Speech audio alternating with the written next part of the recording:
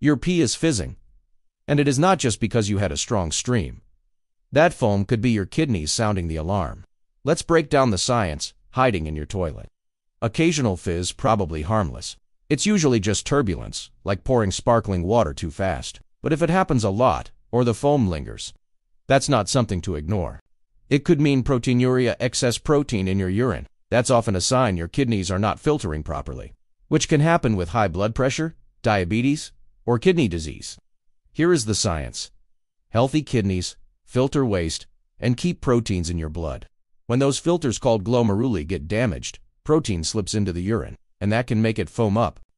Did you know that astronauts often develop temporary proteinuria in space?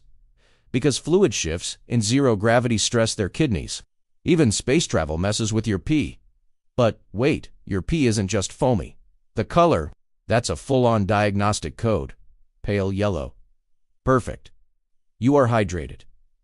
Dark amber. Dehydrated, grab some water. Clear. You might be overdoing it. Yes, too much water is a thing. Bright neon yellow. Probably vitamin B, to lighting things up, harmless, but loud. Orange. Could be meds or liver stress. Take note. Pink or red. If it's not beets, berries, or meds, you might be seeing blood. Call a doctor. Brown or cola-colored. Could be serious.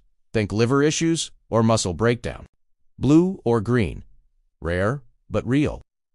Food dyes, meds like propofol, or even rare genetic disorders. Cloudy, could be infection or kidney stones. Definitely worth checking out. Your urine isn't just waste, it's a message.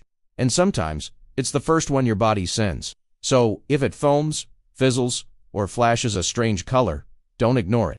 Because when your toilet starts talking, you might want to listen. Subscribe. Like for more.